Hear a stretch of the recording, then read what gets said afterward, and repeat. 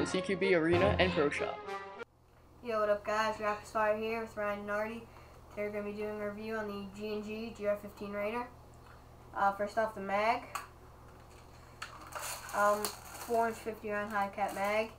Uh, metal, self-winding, so you have to wind before you shoot. Alright, let's get to the gun. Uh, first off, it does not come with the grip or the scope.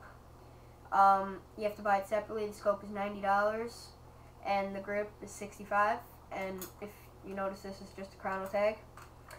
Okay, so you have your CQB length barrel right here. Then everybody thinks there's a little chip right in here, but it's not. It's just modeled after the real gun. It's supposed to be like that. Uh, you have your metal sight. You have your metal RAS rails right here. They're really nice.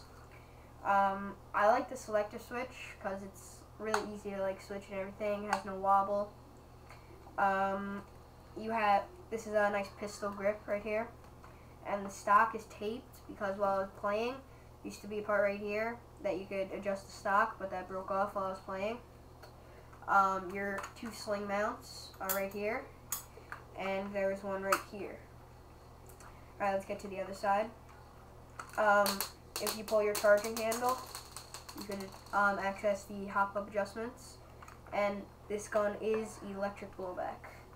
Uh, that's pretty much it. Subscribe.